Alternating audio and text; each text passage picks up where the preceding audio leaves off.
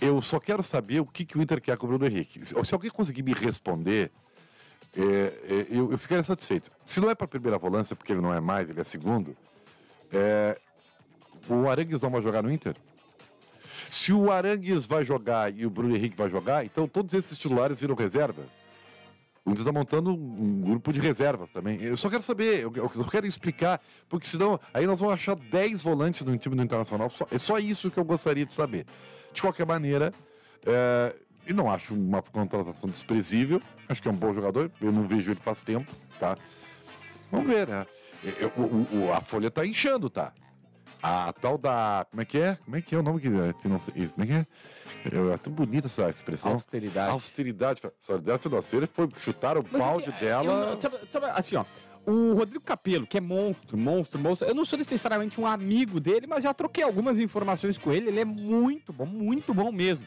Mas aí é, é, é, ele é basicamente um especialista em finanças do Globo.com e ele faz matérias mais aprofundadas, que obviamente a gente. É, cada um no seu setor, a gente cobre mais o dia a dia, a gente não consegue ir lá no detalhamento e pegar e tal, até porque ele é, ele faz só isso. Então, óbvio que ele é mais especialista nisso. Enfim, o que, onde eu sou muito, por exemplo, muito mais especialista em contratações, reforços, é, projeções de mercado, informações de mais bastidores e tal, tudo, cada um na sua linha. É o que eu, o meu foco, o meu foco do meu trabalho é, é, é, é esse outro lado. O Rodrigo Capello fez um, um raio-x das finanças do Inter e trouxe várias informações muito boas, porque ele é realmente muito bom, ele é diferenciadíssimo. Admiro demais o trabalho dele. Mas que vários a gente deu aqui. E aí vários caras ficam marcando nas redes sociais, dizendo assim, JB, vocês não vão falar. Mas quantas vezes se falou? O presidente Alessandro Barcelos nunca, vocês nunca, tu nunca ouviu eu falar, não baixou a, a, a, a a despesa do Inter, a despesa, a dívida do Inter, admitida por ele, admitida pelo presidente.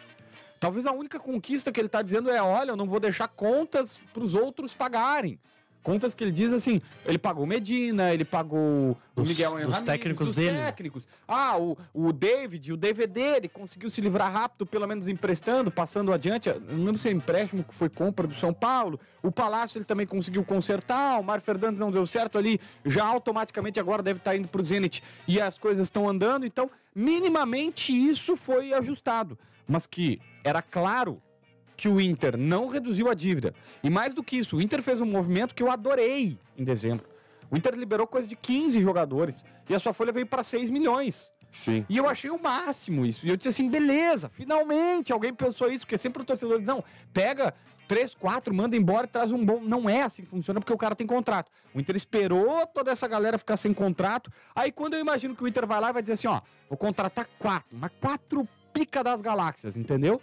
Aí o Inter vai lá e contrata um monte de quebradinho. Dá 280 por Mas dessa eu tô contigo. Foi o titular que o Inter contratou nessa temporada. Mas é isso. Agora, o Arangues... O Arangues... O Arangues o não, agora, mas Valência, na, na primeira só, leva nenhum. Não. O Valência, o Valência é coisa de um milhão e meio.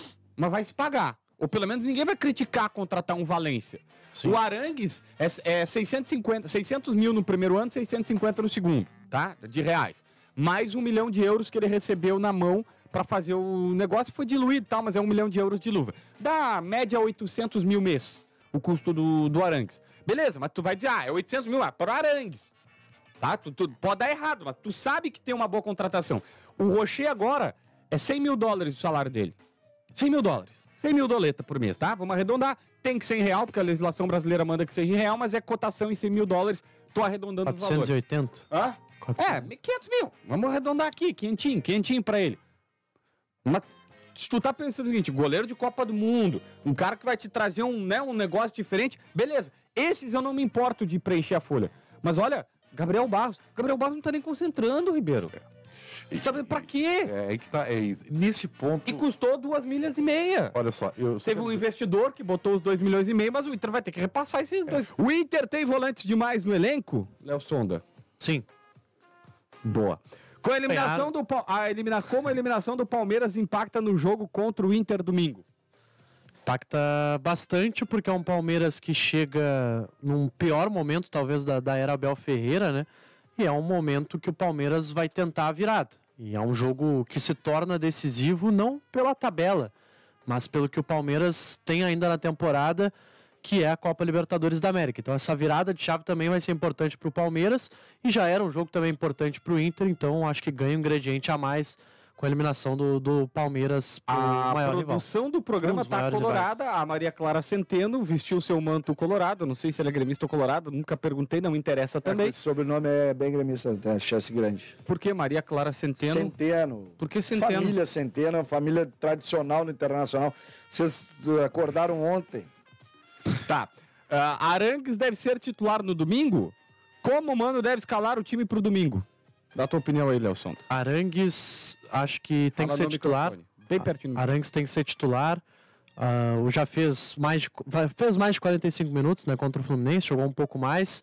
Acho que deve começar, se não, não aguentar o jogo inteiro, tira no segundo tempo, mas o melhor tem que começar. Já deu para ver que ele é muito melhor que os outros que o Inter tem à disposição. O Inter não vai ter provavelmente o Johnny para o jogo contra o Palmeiras, então Campanharo e Depena são opções muito inferiores ao Arangues, então acho que ele tem que começar. E o Valência também, evidentemente, jogador que veio para ser o principal jogador do Internacional, vai dividir esse status com Alan Patrick, então também com o Beira-Rio praticamente lotado, é um jogador que tem que começar a partida.